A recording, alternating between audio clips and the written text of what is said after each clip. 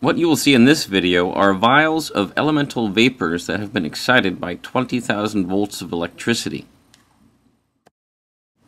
As the excited electrons fall back down to their lower energy levels, they give off light. As you can see in this xenon,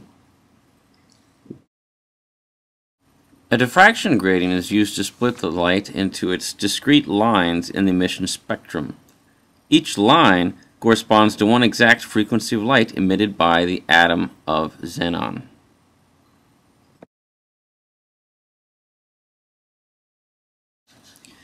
The emission spectrum of each element is like a person's fingerprint.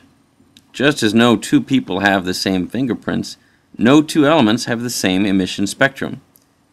In the same way that fingerprints identify people, atomic emission spectra are useful for identifying elements.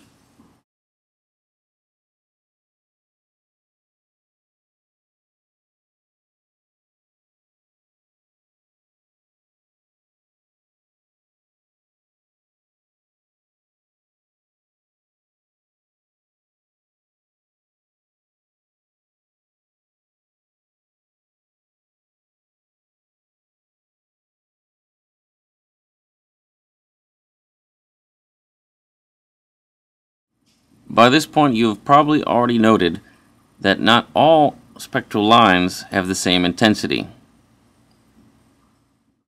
Some are stronger and some are weaker.